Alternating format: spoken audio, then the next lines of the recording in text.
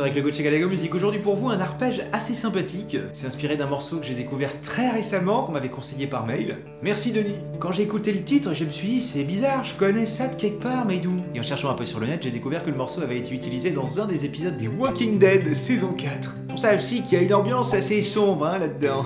Il s'agit donc du morceau Hot in the Water de L'avoine dans l'eau du britannique Ben Howard sorti en 2012 sur l'album Burg Island ou Burf Island, je ne sais pas.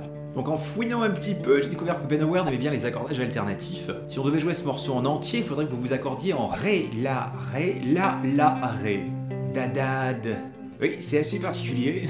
Mais pour vous montrer juste l'intro et les couplets, euh, ce qui est vraiment le truc qui m'intéressait le plus, il faudra juste que vous vous mettiez en drop D, c'est-à-dire descendre le gros Mi un ton en dessous de manière à ce que ça sonne en Ré. Je vous fais le détail après. Et juste avant de commencer, merci à Louisa qui m'a envoyé un chouette dessin que j'ai reçu ce matin.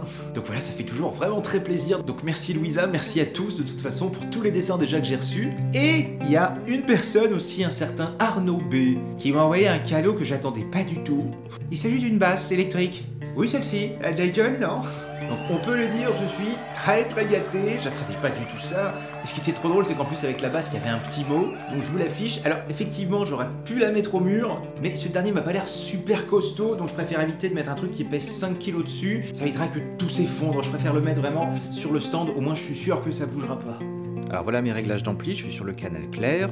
J'ai juste poussé vraiment fort la reverb, puisque je l'ai mis carrément à fond. Et oui, on veut que ce soit bien englobant.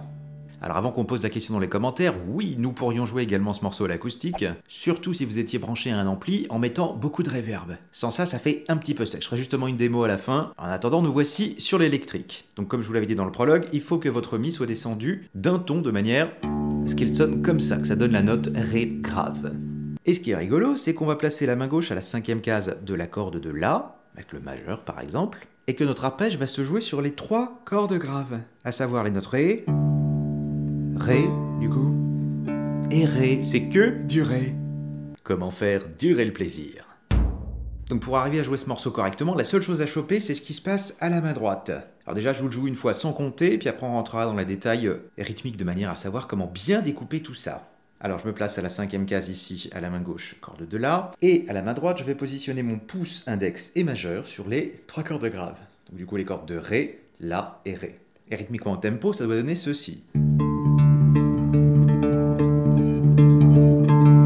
Somme assez cool, mais pas forcément fastoche à choper du premier coup. Alors je vais vous le faire en deux étapes, déjà juste en comptant, et puis après avec le métronome. 3, 4 et 1, 2, 3, 4. Fin de la séquence. Je vous le referme décalant un petit peu pour que vous voyez encore mieux ce qui se passe à la main droite.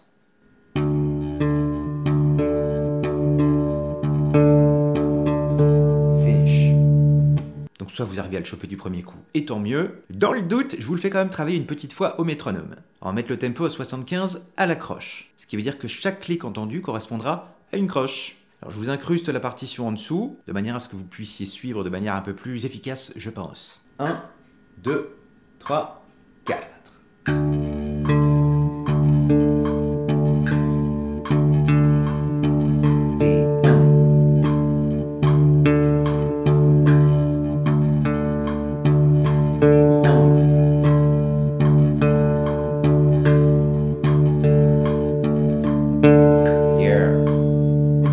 À choper ce truc-là, vous êtes tranquille pour l'intégralité du morceau. Donc entraînez-vous à entendre cette cellule rythmique, vous pourriez le faire en tapotant par exemple avec le pouce et le petit doigt. Pas besoin d'instrument, hein, on peut le faire sur une table et tout ça si vous êtes euh, en cours ou si vous êtes au boulot. L'idée ce serait d'avoir ce son-là. Alors un peu plus vite que ce qu'on vient de jouer. 3, 4 et... 1. Et quand vous le jouerez plus vite,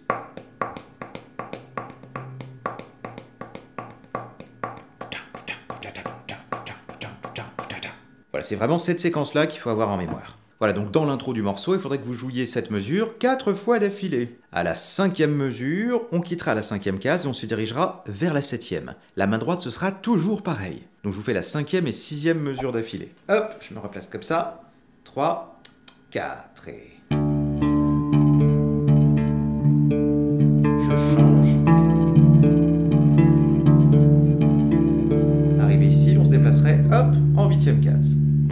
vous voyez, je vais juste me déplacer gentiment. Arrivé ici, hop là. Je regrette pas la corde, hein, c'est juste que mon doigt brif, il se déplace tout en souplesse à la septième case.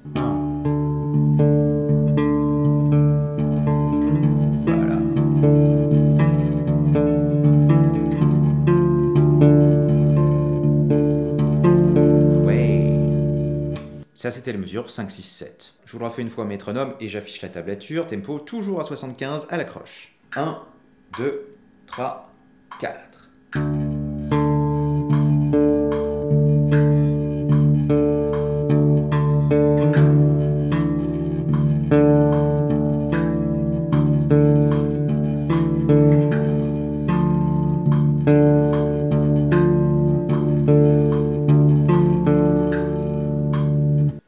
À la mesure 8, on va avoir un petit plan trop stylé qui va faire ça. Alors, on est toujours en huitième case. On démarre notre schéma standard de main droite.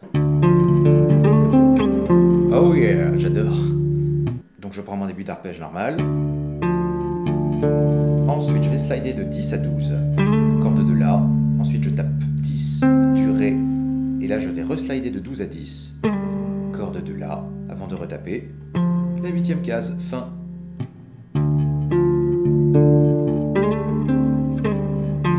Donc il n'y a pas d'énervement et tout, c'est tout souple. Cool. Et avec ça, on a fait le plus difficile. Je vous rejoue les mesures 5, 6, 7, 8 avec le métronome et affichage de tablature. Alors un petit peu plus vite, genre à 85 à l'accroche. 2, 3, 4.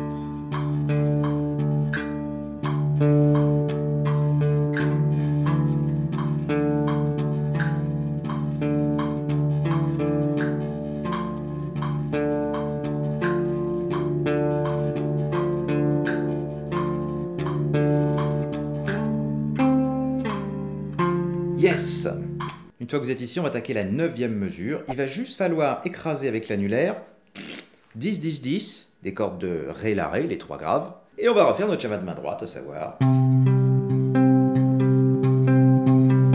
Yeah À la mesure 10, on commence pareil, avec le début de l'arpège. Mais comme deux mesures avant, on va refaire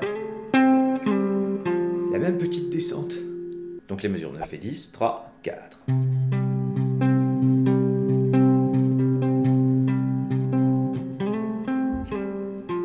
Voilà, la seule chose à bien faire gaffe quand on arrive à la dixième case du La, c'est que l'index ne va pas écraser juste la corde de La, mais vraiment également la corde de Ré grave, pour faire un petit barré en 8-8-8, parce qu'après on va placer notre schéma en 8-8-8.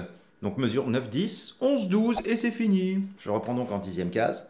3, 4 et... Et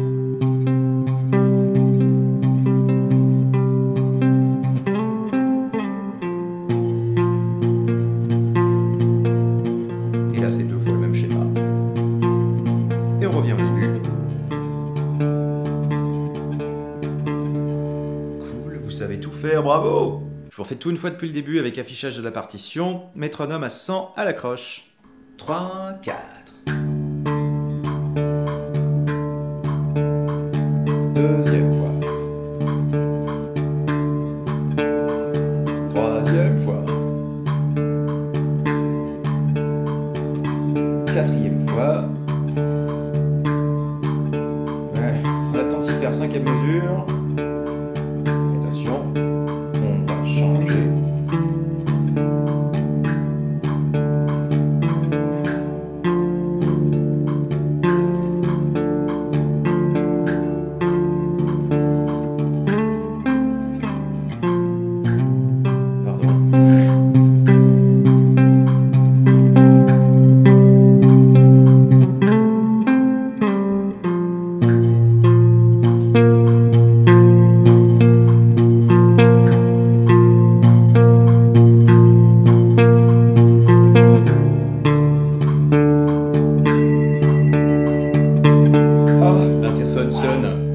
Chien aboie. Ah Donc je termine par une petite démo à l'acoustique, alors au tempo réel.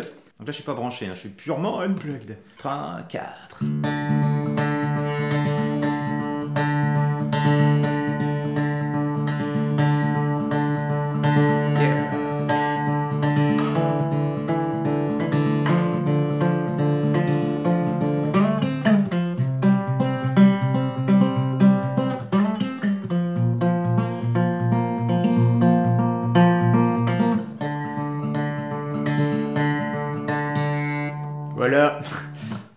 Pouvez improviser, hein. vous conservez le même schéma de main droite, et vous essayez de vous déplacer où vous voulez sur la guitare, sur n'importe quelle case de la corde de La, et vous voyez si ça sonne. Démo avant de terminer.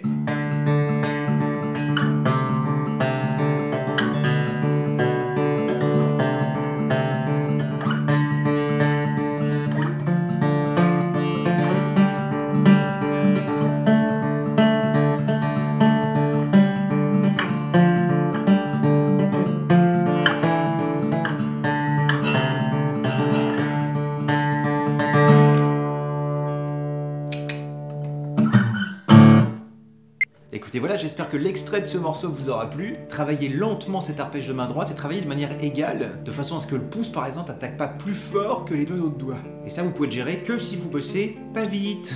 Donc, comme d'habitude, laissez un petit pouce bleu, ça fait toujours plaisir. Encore plus plaisir s'il y a un commentaire qui l'accompagne. Et si vous avez des suggestions pour améliorer les tutos, n'hésitez pas à m'en faire part. Enfin bref, plein de bonnes choses à vous et à très bientôt au détour d'un prochain tuto.